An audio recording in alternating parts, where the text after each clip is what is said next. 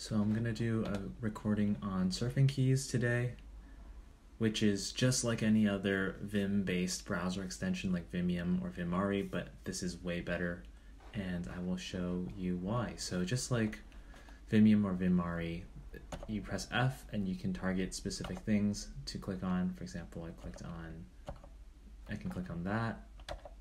I can click on this image, and then I can press X on the keyboard to exit out of um, to exit out of tabs. And then I can also shift I can also go to different tabs by pressing shift R and E. So that makes it a little bit easier.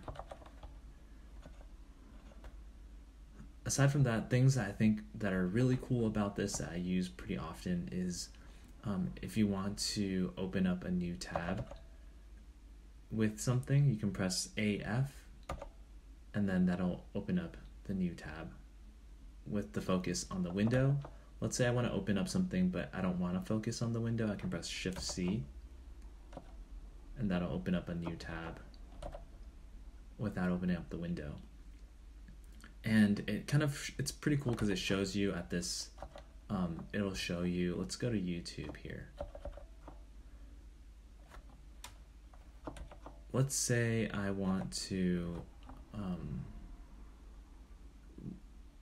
let's say there's some options I want to click on. If I press something like, let's see, what am I trying to come up with? Okay, before we get to that, you can go up and down with U and D. And then for the fast moves, and then for the slow moves, you can use K and J. I like it better than Vimari because Vimari you only can you can't really hold down on it. It only like goes down a small portion at a time.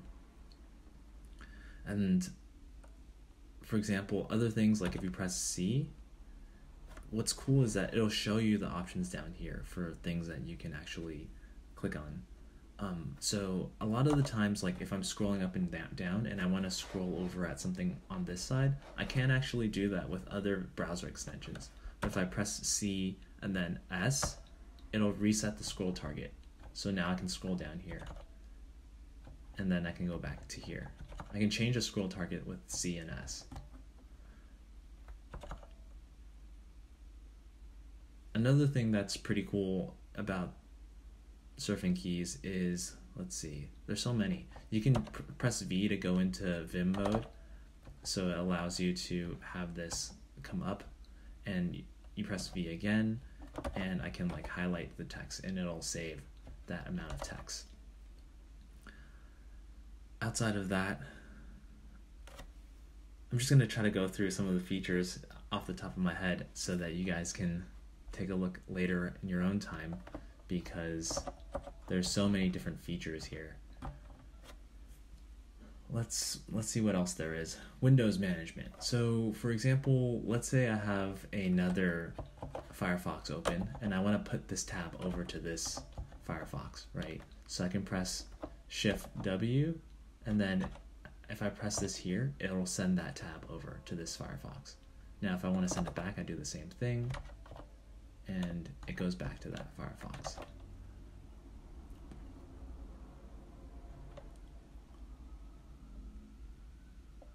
And then there's also a pretty cool PDF viewer that allows you to use the surfing keys onto it. I'm not going to show you in this video.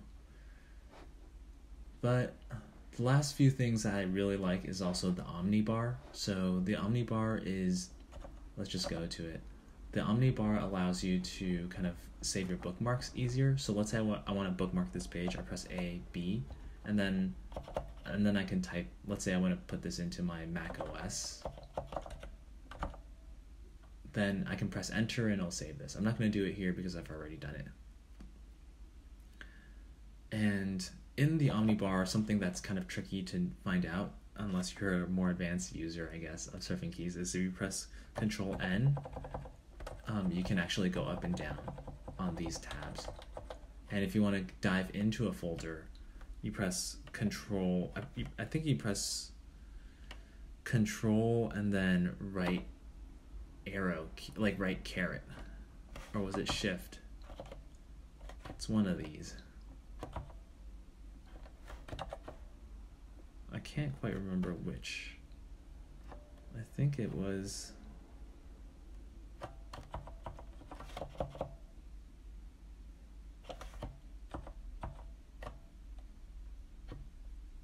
It should be shift. No, it should be control. Hmm. How weird.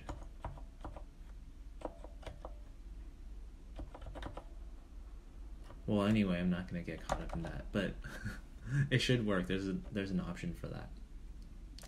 And then if you're watching YouTube, so so say I am in YouTube and I want to I don't I want to deactivate surfing keys. What I typically do is I can press P and I'll put me into pass through mode.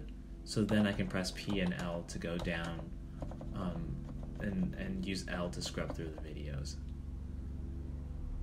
And oh yeah, going back to the Omnibar, if I want to go back to my bookmarks, then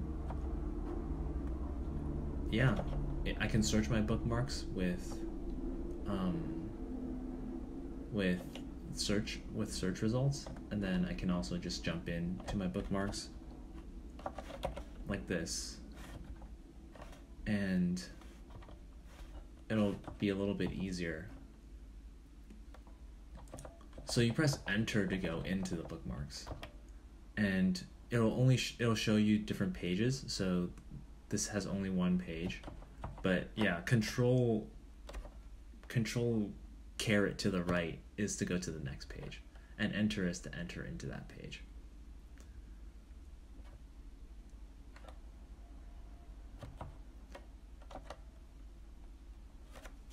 So I think with that, that those are most of the things you'll use. You can also save your session.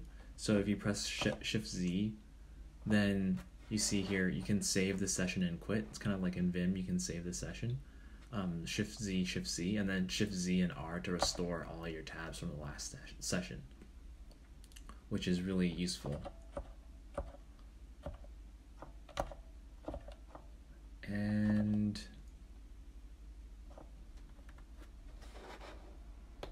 yeah, I think that's mostly I want what I wanted to show. Is there anything else that's pretty cool that's worth showing?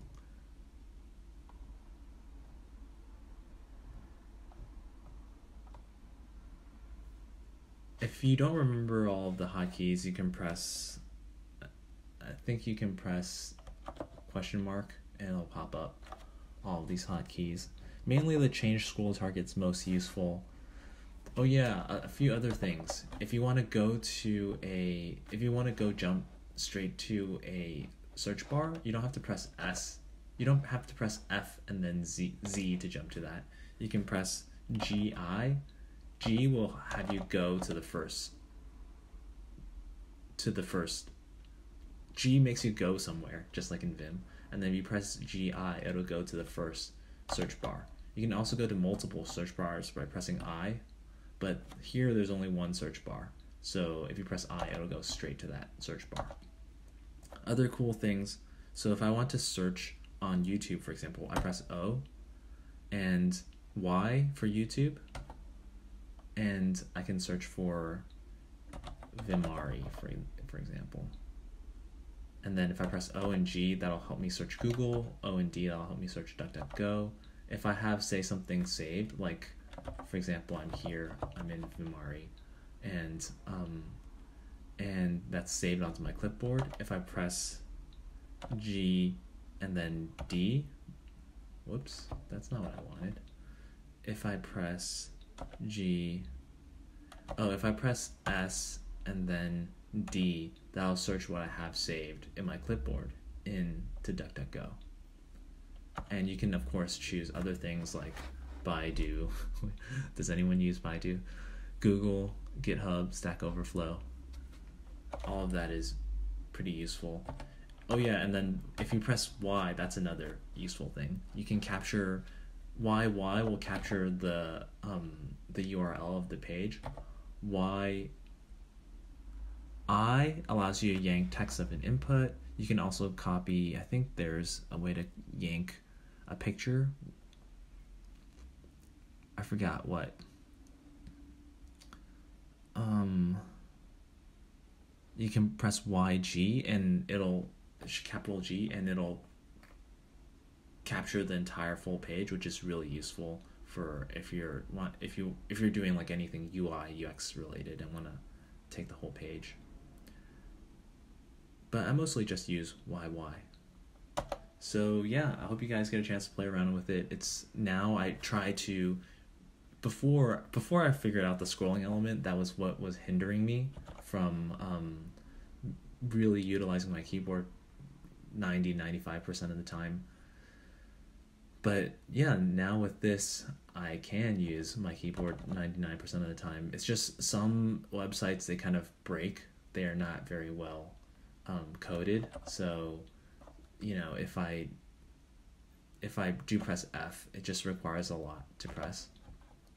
And uh, other things that you can you can press too is q helps you search for buttons. If you press q it'll only pull up the ones the buttons on the page. So if I press Q, see it only shows S. I guess this is what this browser interprets as buttons and F. Um, that that way you don't have to see so many targets on the page. And I typically will show you will help you look for drop downs on navigation bars, not navigation bars, but like search bars in HTML. So that'll help you um, locate those a little bit easier as well. All right. So check it out. Let me know what you think. And that is it.